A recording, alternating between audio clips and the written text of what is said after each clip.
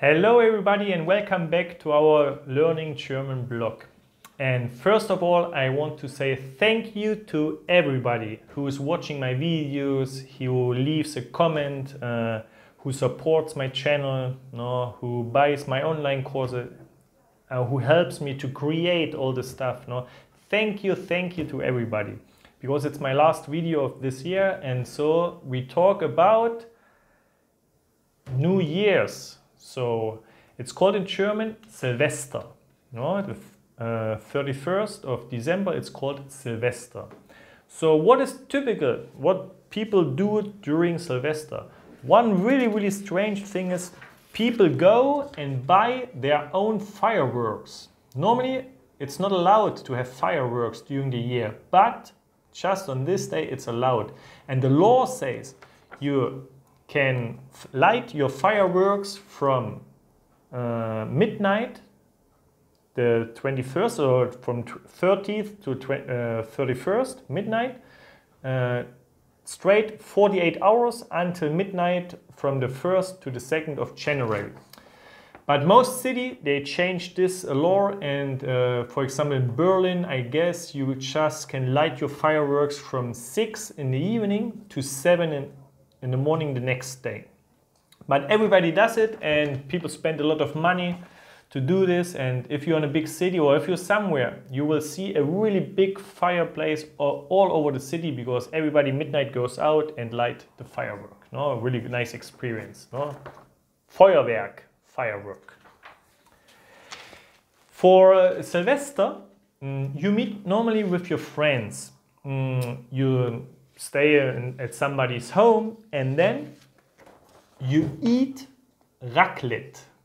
It's like several little pans uh, to uh, cook your food and you prepare like vegetables, meat, what else, and then you cook it by yourself at the table. So you sit around the table, you cook it, you chat, you have fun, you drink, you eat, no?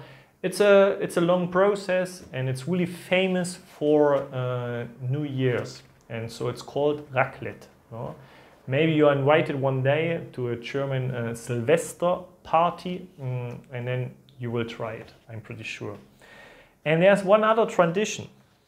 Uh, so let's take a closer look. Here we have uh, some kind of metal. You heat it up, you melt it, and then you throw it into cold water. And then you take it out, and then it's your interpretation. So how will your future go? So if it looks like a coin, maybe somebody will say, ah, you will be rich next year. If it looks like a heart, maybe you say, ah, you will find a new boyfriend or girlfriend, you know? And so it's free of interpretation, it's funny, no? So maybe uh, when you go to Germany, you should try. And obviously, when it's midnight, um, we drink Sekt. It's champagne, but in Germany it's called Sekt. And the most famous brand is Rotkäppchen. So normally people drink this, it's Sekt, and you fill it up, and you cheers with everybody, and you celebrate. And the interesting thing is, in Germany, one important thing, you wish somebody just a happy new year after midnight. No? And in Germany you say ein gesundes neues Jahr. A healthy, a healthy year. Okay? Ein gesundes neues Jahr. No?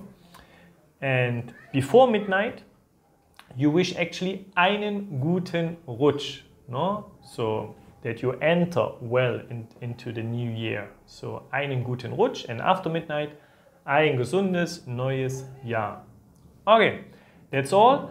I wish you now, because it's my last video, einen guten Rutsch. And I see you next year. Thank you very much. And please don't forget, 1, 2, 3 Deutsch ist das Beste für euch. Tschüss!